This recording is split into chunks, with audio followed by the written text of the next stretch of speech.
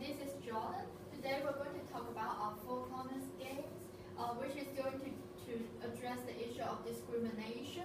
And this is our roadmap today. First, I'll talk about objectives, and then I'll talk about the reason why I chose this game. And then Jordan, we're going to just show you how it is played. Um, this is um, our game is introductory games.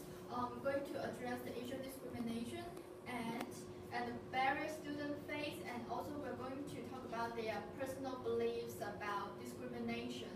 Specifically, we have three objectives.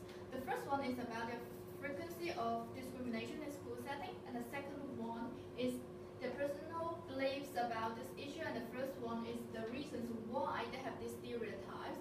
And our, why we chose this game because we're now we're living in a multicultural society, and we have we meet people from different culture and religious backgrounds. Our game is engaging, fun, and also interesting and helpful for students to helpful to build their good awareness.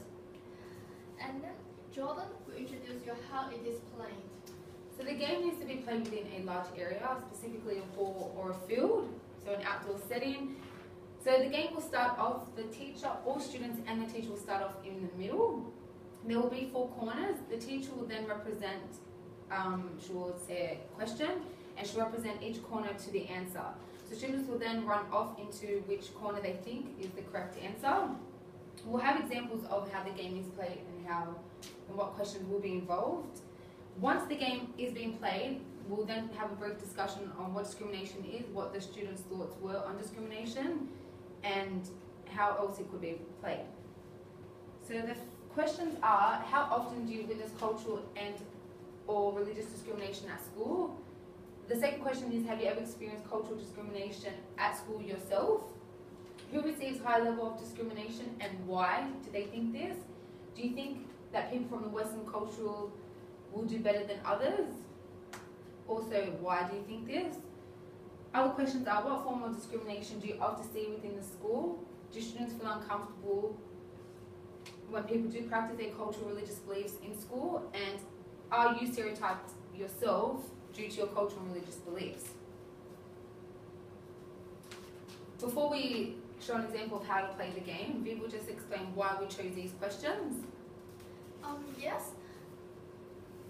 For the first question, we chose it because it talks, uh, it's going to test their understanding of the frequency of discrimination in school setting, which is our first objective. And the second one is about um, their personal belief or awareness of discrimination in the school setting. And the third one is about, also it's about their personal beliefs. It's a personal beliefs uh, towards people from different religious background. And the first one we know is about the reasons why they have this belief.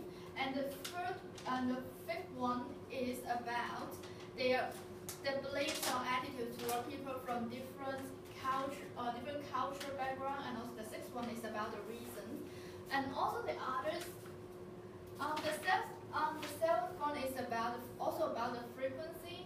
Um, and the eighth and the ninth one is about their personal beliefs and awareness of these issues in the school setting. And Jordan will give you an example of how this game is to be played. Okay, so we have a a little example of it. So as we were saying before, teachers and students will start in the center of the four corners. The teacher will start off with a question. So we'll go with the first question.